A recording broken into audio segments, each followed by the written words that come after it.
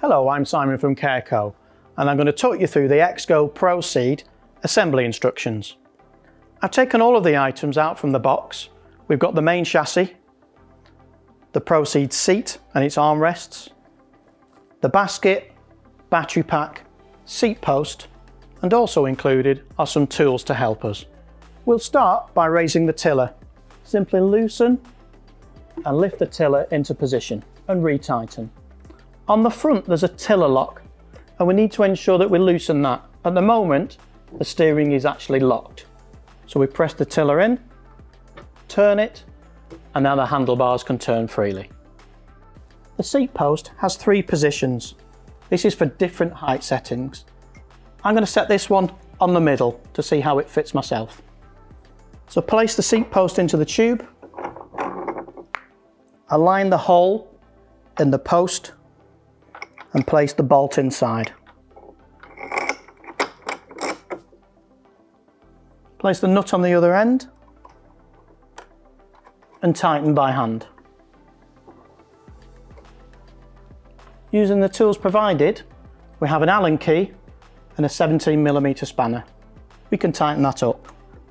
Once the seat post is in position, we'll place the battery pack on.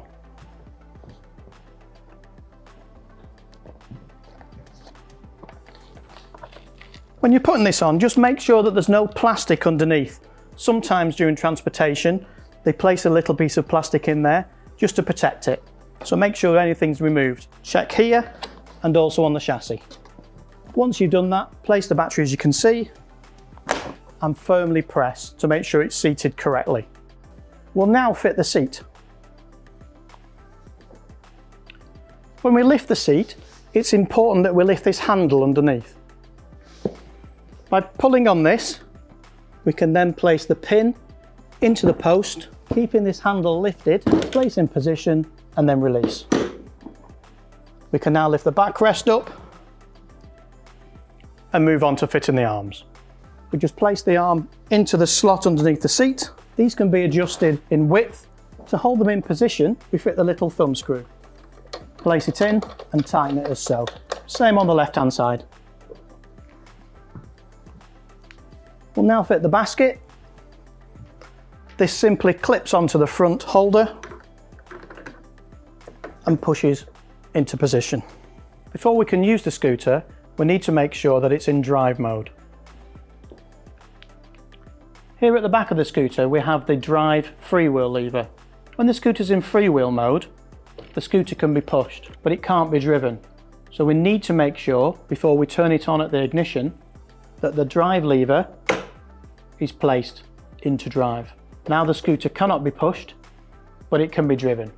Before we go out on the scooter, however, we do need to ensure that we charge up the battery pack. At the front of the battery pack, we have the charging port. Now we can, if wanted, remove this battery pack and charge it in another room, for instance, but you need to charge it and leave it on charge for between 8 to 12 hours. Once it's been charged for that period of time, you can then use your scooter and enjoy your rides out.